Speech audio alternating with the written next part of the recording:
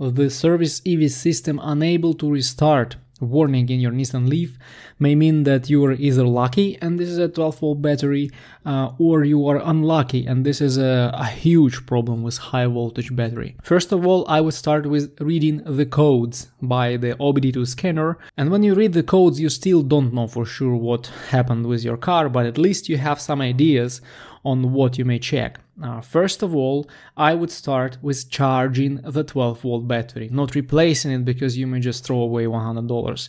Charge your battery, check it uh, maybe with the load test in the AutoZone or any other parts shop and uh, verify that the battery is okay. When you verify that the battery is good, you may continue solving this problem and if you're lucky, at this point this problem will disappear, so you'll not have problems with uh, the um, uh, service EV system warning. Now there is one bad thing I should say. Sometimes uh, replacing the 12 volt battery will help solve this problem, but for some time. And after a week or two, you will get this problem back, or maybe after 10 miles.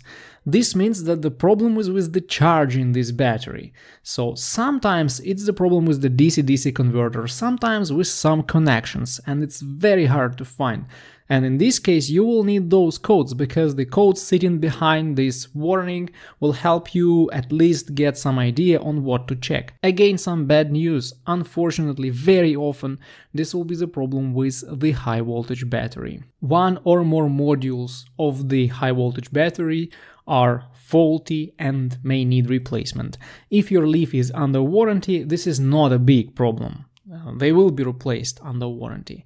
But the problem is that the parts are on back order and you will have to wait half a year, 8 months, 9 months, and not all Nissan dealerships will give you a loan or car or something uh, to compensate this period uh, that you have to spend without your Nissan Leaf. Now, usually this is the problem for the second generation Nissan Leaf uh, when it reaches about 100,000 miles. And uh, if you're lucky and your batch of batteries is okay, is of high quality, you will not have this problem and you will drive for another 100,000 miles. But if this batch of batteries that is in your car is faulty, you will have this warning and you will have the problem with one or more modules.